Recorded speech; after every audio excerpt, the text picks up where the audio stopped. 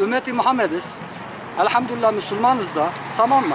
Ama insanların yüzde 60'ı şu anda tefecilik yapıyor.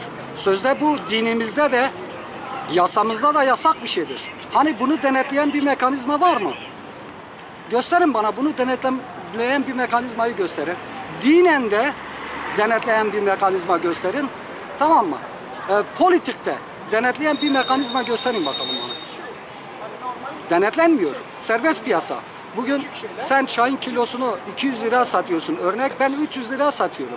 Denetleme yok, bir şey yok. Yani senin vicdanına benim vicdanıma kalmış bir şeydir. Ha, ezilen kim? Gariban, fakir, fukara. Denetleme mekanizması yok çünkü ülkede. Adam bakıyor benim 10 liram var. Diyor ben çalışmadan etmeden nasıl olsa bu benim param var. Falan kes muhtaçtır. Gelip benim kapımda borcu var, harcı var, ödenmesi gereken çeki var ya da. Tamam mı? Gelsin ben 5'i ona vereyim ona. Hem de 6 aylığına, 1 yıllığına değil. Eskiden 1 yıllığına veriyorlardı, şimdi 6 aylığına veriyorlar. Hatta aylığına veriyorlar. Ve millet de mecbur alıyor. Ne yapsın? Geçinmek için. Çekini ödemek için. Borcunu ödemek için. Mecbur alıyor, mecbur. Hani keyfiyetten değil.